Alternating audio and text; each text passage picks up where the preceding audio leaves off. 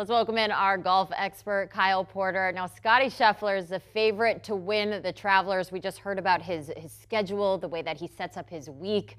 Scheffler has finished each of his last five tournaments in the top five. What has been working for him lately, and do you think he can maintain that strong play this weekend?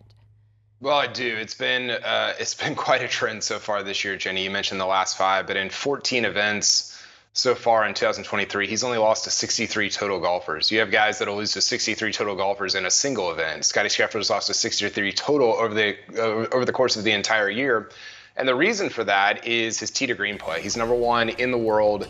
Uh, in tee to green play, you'll see that here, both for this season and for this year. If you look just from January 1 on, he's gaining over 3.1 strokes on the field uh, from tee to green, which is an unbelievable amount. It's a tiger like number. Just to put that in perspective, Jenny, number two on that list is Rory McIlroy, who's gaining 2.1 strokes uh, on the field from tee to green. So Scottie Scheffler's been a full stroke better than the second best player from tee to green since January 1. And that's something that the way that Rick Gehman and I talk about it on the First Cut podcast, it's very sticky. It doesn't really change. Your putting changes over time, but your tee to green play does not. And so I think because of that, Scottie Scheffler will have another top five, top top ten finish this week at the Travelers. 13 top 10 finishes on the season, despite just 17 starts. Just amazing what he's doing out there.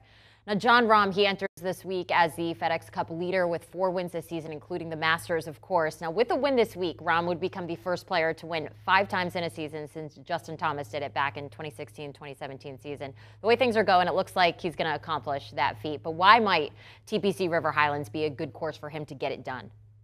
Well, most courses have been good courses for him so far this year. He's been uh, right up there with Scheffler. It, it, you know, Rahm's interesting when you compare him to Scheffler because there's been more volatility there. He's won more, but he's also missed more cuts. He's finished outside the top 25, the top 30 more than Scheffler. And actually, that's not a bad thing. You know, the, we hear these guys talk all the time about consistency, but if you're consistently, uh, you know, finishing third in a tournament versus if you have volatility and you're winning some and missing the cut at some, it's better to win some and miss the cut at some if uh, winning is ultimately the goal. So he's been awesome from tee to green. I think this golf course, Jenny, sets up better for him maybe than uh, LACC last week, where he did finish, kind of made a Sunday run to finish in that top 25 there. Uh, he's he's been.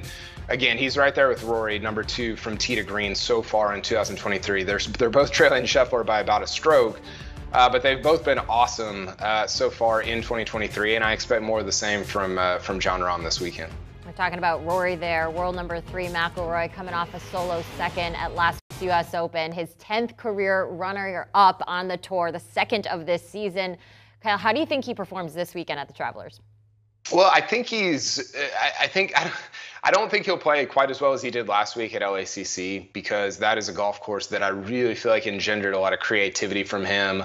A lot of the nuance that maybe sometimes gets lost on regular uh, PGA Tour courses like this one. So I don't know that I envision him uh, going out and finishing second this week. Who knows? He could go out and win it. But I do think that he has kind of played his way into some really great golf. And what I mean by that is a month ago, six weeks ago, he was kind of talking about his golf swing not being where he wanted it to he's gradually improved that over the last five, six, seven weeks to the point where I think Rory is kind of at that top 10 lock type level right now. Again, I don't think he's going to win or finish second. He had a very emotional week last week, almost winning the U.S. Open. I don't know that this course sets up quite as great for him as LACC did, but uh, I do think Rory has kind of played his way into a swing that's going to serve him very well this summer as he tries to win this week, tries to win the Open Championship and then on to the FedEx Cup playoffs later in the season. He was so close last week, McIlroy making his fifth start at the Travelers Championship. All right, let's talk about the 2022 champion, Xander Schauffele. He's defending the second of his three titles from last season. Schauffele is tied with Jon Rahm for the second most top tens on tour this season, but he's never successfully defended a title on tour. Do you think that this could be his weekend to repeat?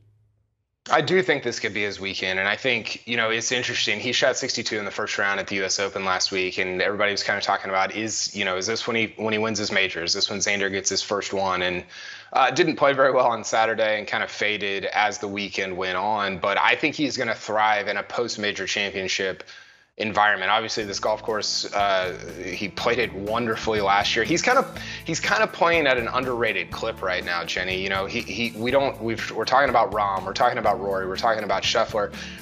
You know, who, who's the best guy on the PGA Tour outside of those three right now? I think you can make the case for Xander Schauffele. It may, he might be the third best guy ahead of, of somebody like Rory if you look at the course of the entire season. So I really like where his game's at. Uh, he's been awesome from tee to green over the last five, six, seven, eight weeks. He's he's really playing again at an underrated clip that I'm not sure people are realizing how good he's been over the last couple months. Phil Mickelson is the only golfer to win this event in back-to-back seasons. All right, before we let you go, it's time for the Geico 15. 15 seconds on the clock, Kyle. Give us your pick to win the Travelers. Who do you like?